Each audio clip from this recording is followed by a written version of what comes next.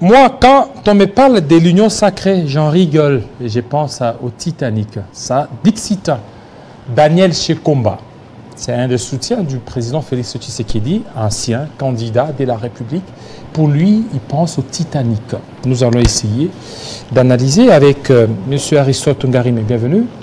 Merci Jean-David Kilolo pour cette invitation. Je sens honoré. C'est une joie immense de m'inviter. Quand bien même il y a Oui, eu ça de- fait un des moment, ratés, je- hein. Il y a eu des ratés. Effectivement, plus- par plusieurs fois, à on a- le programme. On a préparé une émission et ça, ça a avorté, Ça a ainsi de suite. mais je suis très honoré d'être ici. Par la même occasion, j'ai sali euh, l'ensemble de, de peuple congolais. Je pense particulièrement à ma province, la province de Bazouélé, territoire de Bouta, là où je suis natif, ainsi de suite. Donc, euh, je suis honoré d'être ici. Mm. Je crois que nous sommes venus pour parler État, pour parler République, pour parler nation, pour dénoncer. Je suis venu pour faire mon rôle d'opposant, pour euh, venir démontrer à la face du monde que nous avons un régime qui est devenu finissant, un régime qui n'a plus rien à prouver, un régime qui a démontré ses limites, un régime qu'on croyait, qu'on pensait faire mieux que Joseph Kabila Kabangi et, PPRD au fil des ans. Mais il y a des choses, hein, il y a on des choses. On- va arriver parce que- Ne, euh, dis pas qu'il y a des choses, je risquerais de lire le livre des promesses ici. Oui, mais il y a, Ah, euh, il y a IGF qui est en train de faire un bon boulot avec les rapports sur Je euh, le, lire. le- le détournement au niveau de- des fonctionnaires. Mais revenons d'abord à la sortie officielle de l'Union sacrée, Très cher David au niveau du stade des martyrs. Très cher Et cela montre que la population est derrière l'Union sacrée. Très cher David Kilolo. Pour moi, union sacrée, c'est une erreur de parcours. Erreur de parcours? Union sacrée, c'est une parenthèse politique malheureuse. L'union sacrée ressemble à l'arche de Noé, où il y avait toute espèce sauvage qu'on avait entassée. L'union sacrée, ce n'était pas la réponse par rapport aux préoccupations des Congolais. L'union sacrée, c'est un non-événement. C'est cette Union sacrée qui a basculé la majorité. Ce sont, le, ce sont le même qui, un jour, étaient autour du président Kabila. Je connais des gens qui étaient très proches du président Kabila, qui ont participé dans la conception, Comme du, dans la conception du kabylisme. Des gens, en effet, qui ont enseigné ce que c'est l'idéologie kabylisme. Des gens qui ont participé dans la gestion de Kabila. On ne peut pas les dissocier avec Kabila. Ce sont des gens qui étaient là et par présomption, le président Kabila avait tout donné à ces gens. Mais aujourd'hui, parce que le président Kabila n'a plus la signature pour le nommer, il traverse la rue pour aller chez le président Félix rép- répéter la même pratique. Donc, c'est pourquoi je dis c'est une erreur de parcours. C'est une parenthèse politique malheureuse. Je suis fort convaincu que le peuple a déjà compris. C'est quoi l'union sacrée? Dites-nous. Vous trouverez des moboutistes dedans. Vous trouverez, Mais c'est comme les vous trouverez des kabylistes C'est dedans. comme les FCC, il y avait des c'est- moboutistes, Si hier, il y avait, euh, si, hier ces gens n'ont pas servi la République, je ne vois pas comment aujourd'hui ils serviront la République. Mais je dis avec Si une autre hier- vision, autre vision. À la tête, il y a le président Félix Tshisekedi. C'est impossible. Ce sont des gens inchangeables. Il faut simplement créer une autre classe politique. Il faut refaire la classe politique. Des gens qui ont travaillé avec Mobutu, ils ont induit Mobutu en erreur. Ils sont venus avec Laurent Désiré Kabila. Ils ont aussi tenté d'induire le président Laurent Désiré Kabila en erreur. Beaucoup ont participé dans la confection idéologique du président Joseph Kabila Kabangi. Et aujourd'hui, ils se retrouvent au premier cercle avec le président Félix Sekedi. Je me dis, qu'est-ce qui se passe? Donc, ce sont des gens qui sont là pour accompagner la couronne. Ce ne sont pas des gens qui sont là pour aider la République. C'est ce qu'il faut retenir pour l'Union sacrée. L'Union sacrée n'était pas euh, une recette miracle pour résoudre le vrai problème des Congolais. Depuis qu'on a créé l'Union sacrée, depuis que la majorité existe au Parlement, dites-moi, chers journalistes, quel est le domaine, quel est l'aspect de la République où nous avons connu, nous avons vu une euh, avancée ou un développement louable? Il n'y a absolument rien. Il y a la gratuité de l'enseignement.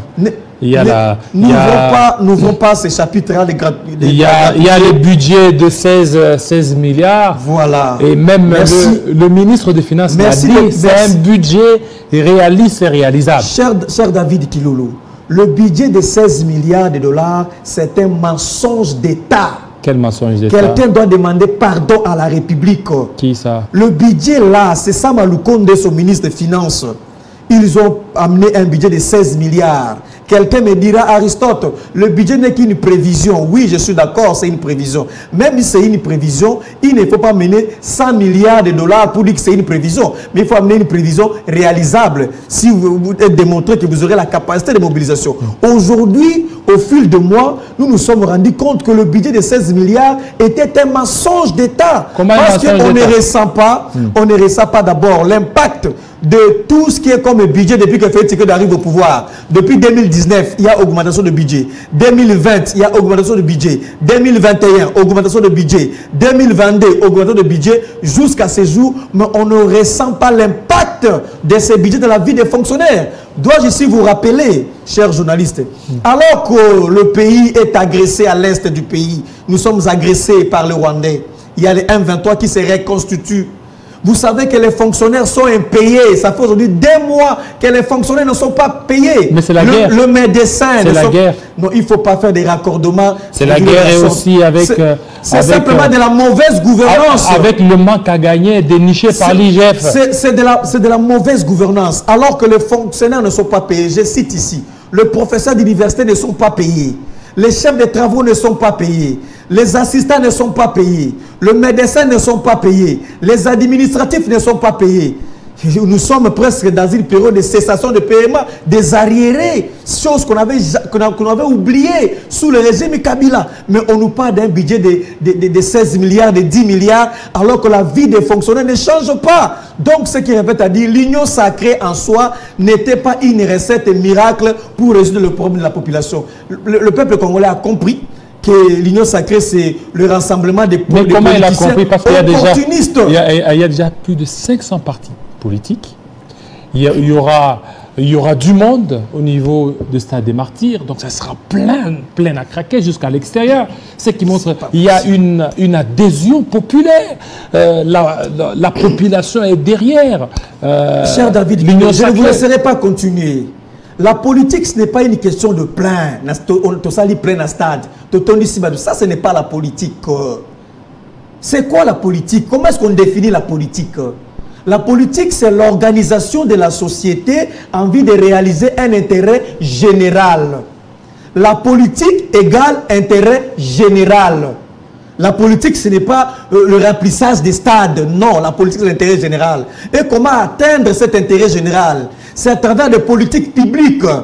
C'est à travers une bonne gouvernance, à travers une bonne gestion, la prise en charge des fonctionnaires. C'est ça la politique. Vous voulez ici mesurer la politique par rapport à ce qui va se passer au stade. Non, on mesure la politique par rapport à des réformes qu'on a engagées dans les secteurs économiques et politiques. C'est ce que nous ne voyons pas. Il faut que les gens, les sociétaires de l'Union sacrée se retrouvent pour dire voilà des grandes réformes que nous avions menées. Et vous reprochez faire quoi? Vous vous reprochez quoi Nous reprochons... Sinon peut-être à la sortie ou à l'événement? Nous reprochons tout simplement cet événement. C'est inopportun.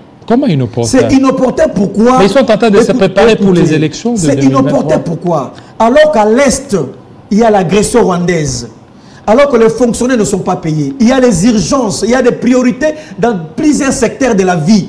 Mais eux, ils trouvent mieux à faire d'appeler les jeunes quinois, de louer les jeunes quinois comme ils sont loués des chaises en plastique pour aller au deuil, les amener au stade de martyr pour aller passer deux heures, trois heures, ainsi. C'est inopportun. Ici, ce qu'il fallait faire, c'est simplement d'abord de recréer les sentiments nationaux, la cohésion nationale, l'amour de la République pour dire non à l'agression rwandaise. Mais ils trouvent comme urgence, comme nécessité d'aller au stade des martyrs. C'est extrêmement grave. Donc la République n'a pas de chance.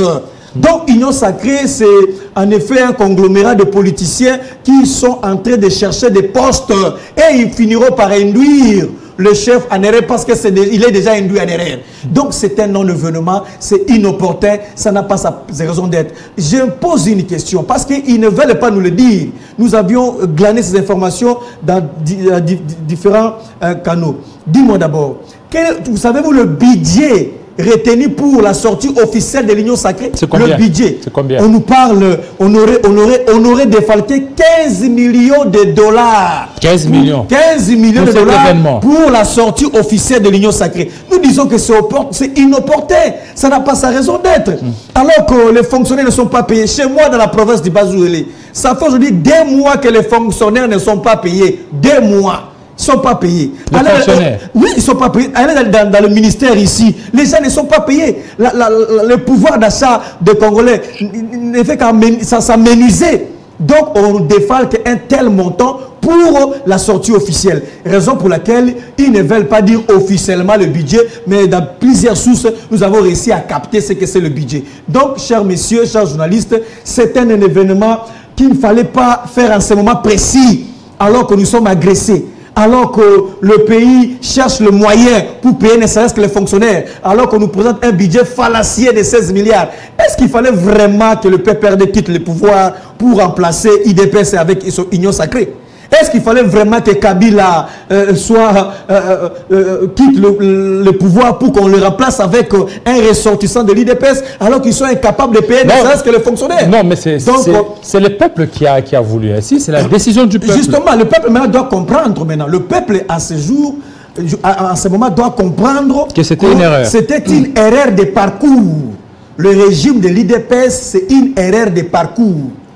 Et alors, c'est une parenthèse politique malheureuse qu'on doit faire un effort, un effort de fermer à travers les élections. Voilà. Mais- Alors, alors qu'on attendait que Union Sacrée puisse nous dire, nous, la jeunesse quinoise, que nous, Union Sacrée, nous avions trouvé le taux du chômage Kabila avait laissé à 100%.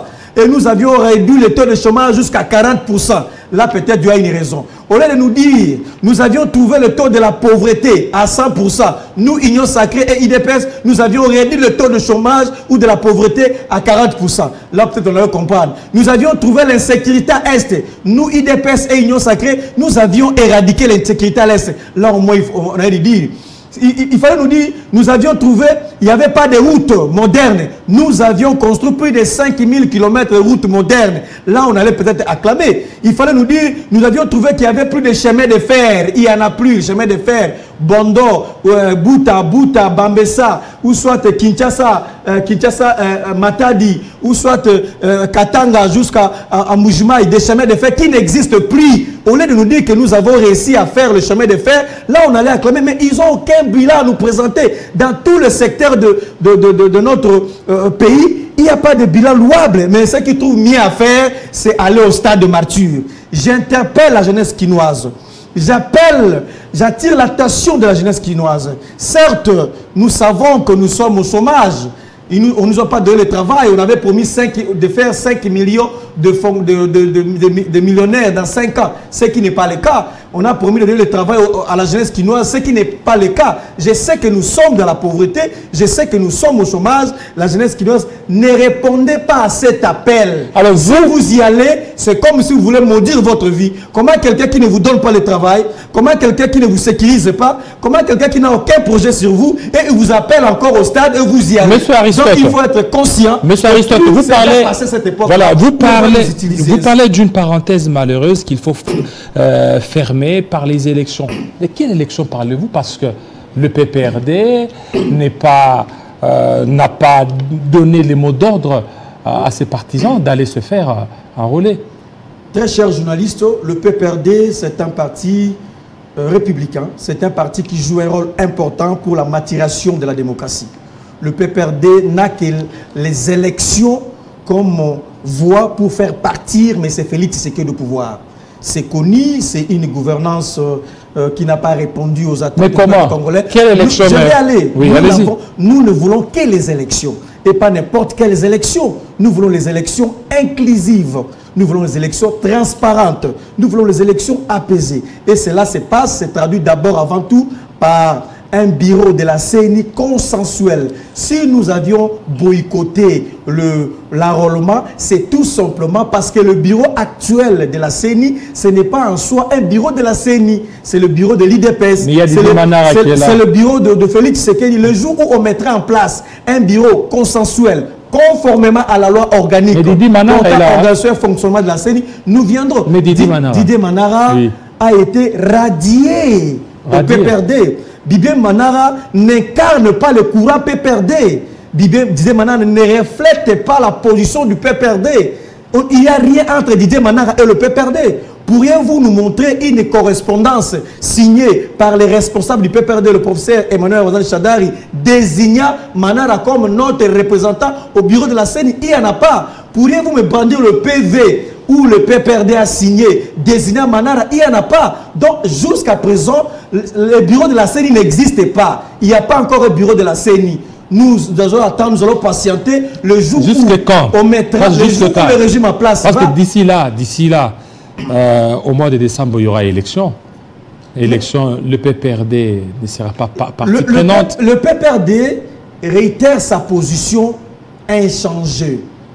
Aussi longtemps qu'on ne trouve pas le consensus autour du bureau de la CENI, nous ne viendrons pas accompagner M. Félix Tshisekedi et Denis Kadima. Vous savez ce qui va se passer? Mm. savez ce qui va se passer Denis Kadima, il passera certainement à la RDC, à, la RTNC, allais-je dire, avec un bout de papier comme ça, en train de dire Félix Tshisekedi a gagné les élections avec 70%. Euh, IDPS a obtenu 250 députés. IDPS a, obtenu 20, 26 euh, euh, gouverneurs de province. IDPS a eu autant de députés provinciaux. C'est ça parce que l'opposition n'y est pas. Alors, pour que les élections soient crédibles, il faut qu'il y ait la participation de l'opposition. Pour qu'il y ait la participation de l'opposition, il faut qu'il y ait le respect de la loi. aussi, l'UDPS est en train de respecter la loi organique afin que nous puissions appeler le nôtre à hmm. l'enrôlement. Pour l'UDPS, nous n'allons pas nous Pour l'UDPS, en 2006, il y a eu élection sans, sans UDPS. Ne comparez pas. Ah, à l'époque, c'est base à ça. À l'époque, la loi, la loi organique, euh, la loi portant organisation fonctionnement de, de la CENI était claire. C'était le président du groupe parlementaire qui avait cette qualité de désigner un de leurs pour qu'il puisse être membre du bureau de la CENI. C'était ça en 2006. C'était ça à l'époque. La loi a évolué. La loi organique euh, qui euh, réglemente le fonctionnement de la CENI à ce jour stipule qu'il faut que des forces politiques représentées au sein de l'Assemblée nationale puissent déléguer. Il y a même des répartitions. La loi a été modifiée. La loi a été changée. Donc il ne faut pas comparer des époques différentes. Et dans l'époque où nous vivons, il faut absolument que l'opposition puisse déléguer. Vous perdrez quoi si vous acceptez que l'opposition délègue en effet ses représentants? Vous allez perdre quoi? Parce que nous disons, que Didier Manara n'est pas l'émanation du PPRD.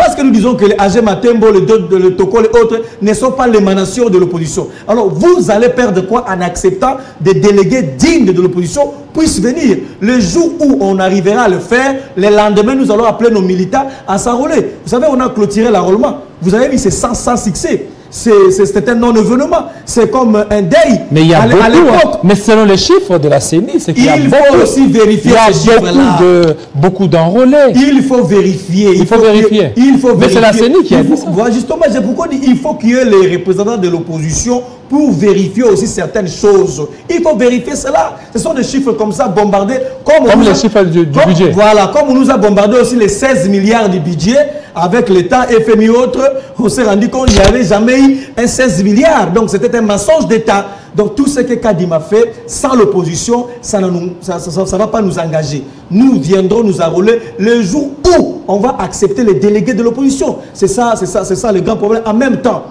le peuple a déjà compris l'échec de ce régime. Très cher journaliste, mm. ce n'est pas en vain que moi j'ai écrit le livre de promesses. C'est le livre que j'ai écrit, ce qui, euh, qui sortira incessamment. Le livre de promesses de M. Félix Mais la situation dans l'Est semble, promesses. semble se calmer. On n'était que de promesses. Oui, mais la situation dans l'Est semble se calmer. Il n'y a plus d'avancée du M23. Le M23 euh, se sont arrêtés quelque part. Il y a les processus de euh, désengagement, désarmement qui continuent. C'est qu'il y a une avancée pour l'actuel gouvernement. Vous n'aviez pas suivi le, les récentes informations. On dit que les 1-23 se reconstituent. Les 1-23 changent de position. Les 1-23 commencent encore à attaquer. C'est ce que moi j'ai suivi, comme vous aussi. Donc, il y a un flou. D'ailleurs, où se trouve le 1-23 à ce jour? Parce qu'ils sont pris dans la localité de Bounagana. Ils sont où? Où se trouve le M23 Ils sont, cantonnés où? Ils se sont retirés. Ils sont où? Justement, est-ce qu'on peut au niveau des. On doit nous dire où se trouve le, M23 et de deux. Vous aviez suivi la présidente de la Tanzanie qui avait clairement dit à l'époque que la force de EAC n'est pas venue pour euh, attaquer, pour combattre le M23. Vous avez également suivi Veni qui a clairement dit que la force régionale n'est pas venue pour combattre le M23.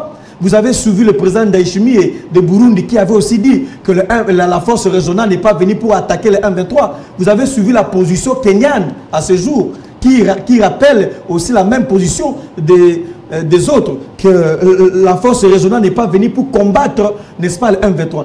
Quelle est la mission de la force régionale? Est-ce que cette force a une mission offensive?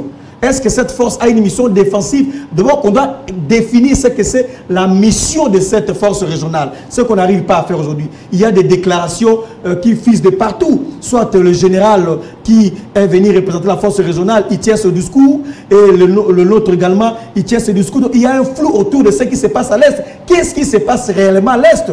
Qui gère la localité de Bunagana? Quelle est l'administration qui continue à jouer? C'est l'administration de l'EAC, non? Mais, voilà. Est-ce que pensez-vous qu'un État normal, hmm. un État qui se respecte, doit laisser en esprit une localité Non, c'est pour un temps, c'est pour un temps pour établir euh, la. Ce qui revient à dire l'autorité de l'État. L'Union sacrée a échoué à ce qui concerne la politique sécuritaire.